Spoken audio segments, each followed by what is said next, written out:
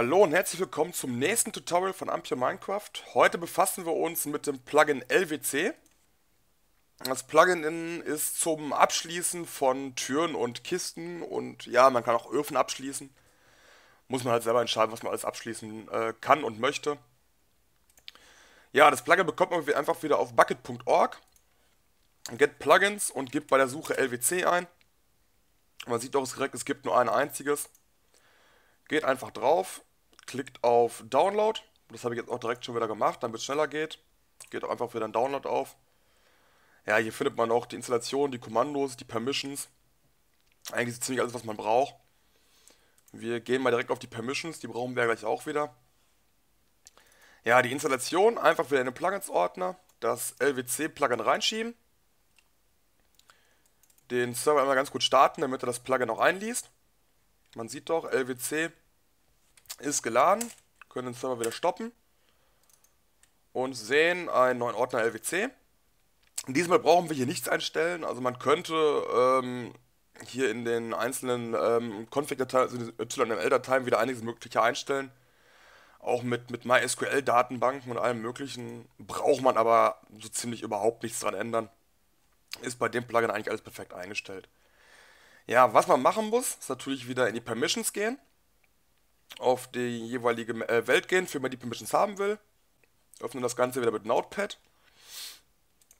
Und gucken nach den Permissions. Ja, hier ist es diesmal eigentlich extrem einfach. Wir brauchen nur diesen einen Befehl LWC Projekt, äh, Protect. Weil der Rest ist, äh, ja, man kann verschiedene Inventare blocken, dass die gar nicht mehr in die Kiste reinlegbar sind.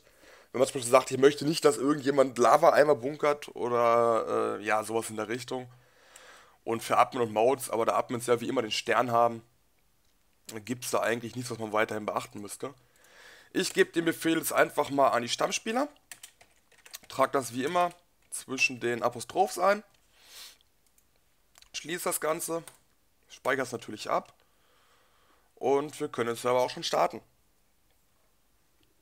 Wir sehen, LWC ist wieder geladen, keine Probleme dabei gehabt, starten Minecraft.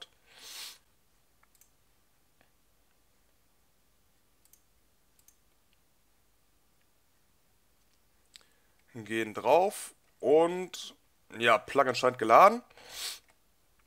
Ich habe jetzt gerade noch aus dem letzten Tutorial äh, alles mögliche dabei, brauchen wir jetzt natürlich nicht. Ich gebe mir jetzt einfach mal eine Kiste. So, wenn wir die jetzt hinstellen, na, wo ist das Schloss? Da.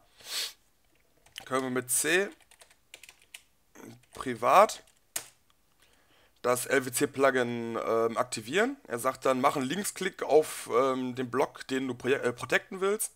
Machen wir es einfach mal. Okay, ich habe angeblich die Kiste schon äh, registriert. Leicht mysteriös, aber okay. Auf jeden Fall kann jetzt ähm, die Person, die die Kiste ähm, für sich genommen hat, natürlich jederzeit reingucken.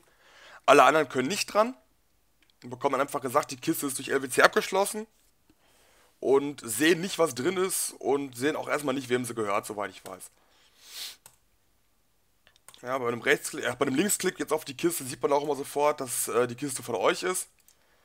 Äh, okay, sieht man dann natürlich bei den anderen Kisten doch, wem sie gehören. Also wenn ihr jetzt auf die Kiste von irgendeinem Freund äh, Linksklick machen würdet, äh, seht ihr, dass die Kiste von ihm benutzt wird.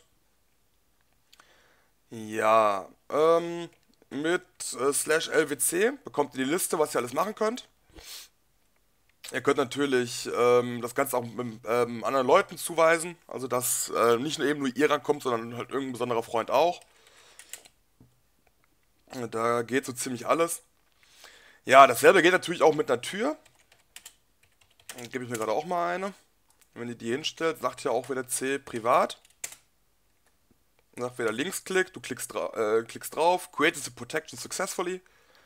Und ihr seht bei dem Linksklick auf die Tür, dass sie von euch abgeschlossen wurde. Ähm, für die Kisten finde ich die Funktion ähm, ganz nützlich. Da benutze ich sie selber auch äh, sehr gerne. Bei Türen finde ich es ähm, ja eigentlich eher unpraktisch, weil ich öffne die Türen meistens mit Linksklick und wenn mich äh, der Chat dann immer zuspammt, finde ich das äh, irgendwie störend. Ähm, deshalb benutze ich für die Türen ein anderes Plugin. Und zwar benutze ich dafür äh, World Edit bzw. World Guard. Aber da werden wir dann in den nächsten Tutorials noch zu kommen. Weil damit kann man ganze Regionen abschließen und äh, ja, die Türen halt in dem Fall auch gleich mit. Ob man damit jetzt auch Kisten abschließen kann, weiß ich gerade gar nicht, aber ja, ich glaube, es funktioniert auch. Ja, nochmal slash LWC seht ihr auch ähm, C-Remove. Das gibt natürlich auch einfach nur wieder ein wie bei C-Create. Dann sagt er Punch, äh, Punch your Protection, ihr klickt drauf und die Tür ist nicht mehr protected, jeder könnte sie öffnen, könnte durchgehen und auch wieder schließen. Ja, die Kiste ist weiterhin natürlich auf mich eingeschrieben, auch wieder C-Remove. Draufklicken und jeder könnte an die Kiste dran. Ja, das war es soweit eigentlich schon von dem Plugin. Viel mehr kann das nicht.